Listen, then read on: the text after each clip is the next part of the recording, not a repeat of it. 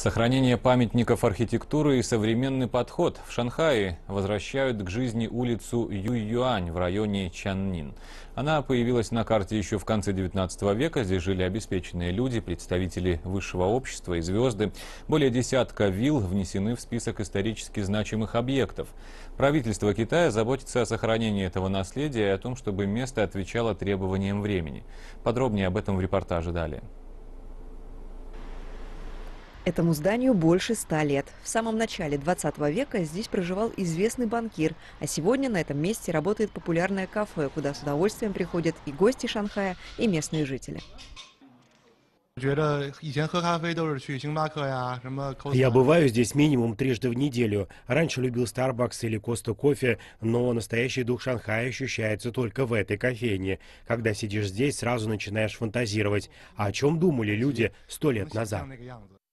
Причем цена аренды площадей в историческом здании значительно дешевле, чем в небоскребах по соседству, говорит хозяйка кафе. Когда я впервые пришла сюда, меня удивили необычные растения по обеим сторонам дороги. Известно, что эта улица имеет важное место в истории. Здесь жили многие знаменитости и чувствуется притягательная атмосфера. Еще недавно здесь был совсем другой пейзаж. Вдоль дороги располагалась масса нелегальных сооружений. В октябре 2015 года власти района решили обновить это место. Идея заключалась в том, чтобы придать Ююань шик и лоск, которые были здесь век назад. Чиновники тесно сотрудничали с бизнесменами в этом вопросе. Таким образом, здесь начали появляться кафе, книжные магазины, галереи искусства. Более 20 компаний разместили свои офисы на улице Ююань за последний год. Наша задача – отреставрировать и обновить техническую базу сооружений так, чтобы сохранить старину и при этом сделать место современным, комфортным и привлекательным для потребителей. Бывший завод мы перепроектировали под площадку для коворкинга. Если правительство поощряет стартапы, то должно быть вдохновляющее место для работы. И очень символично, что это все происходит именно на Ююань. Около вилл старинной улицы появились таблички с QR-кодами. Перейдя по ссылке, можно почитать историю каждого дома. Линь Цинь живет на Ююань больше 60 лет.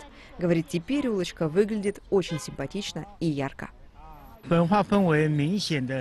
Стало гораздо культурнее. Я частенько захожу в книжную лавку, посещаю выставки, концерты. Мне и соседям вполне по душе такой стиль жизни. Мы с друзьями сами хотим дать небольшой концерт.